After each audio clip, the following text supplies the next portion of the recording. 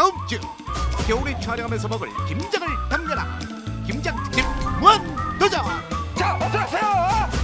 가셔야죠, 가셔야죠, 그렇죠! 아줌마들을 뚫고 물을 얻어오겠다 물을 주세요 여섯 개의 김치 중 물이 날 정도로 매운 김치는 과연 누구 입에? 이 게임 맛이 좋구나 그리고 잘 만나고 있습니다.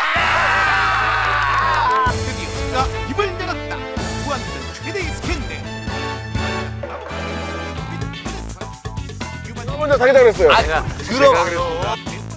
유혹을 해야지. 진짜 유재석 아나운서만 좋아하냐고. 아니거든. 야 진짜 잔인하다. 아니, 저좀 태우고 가주세요. 마세요 키스했어요? 키스. 이상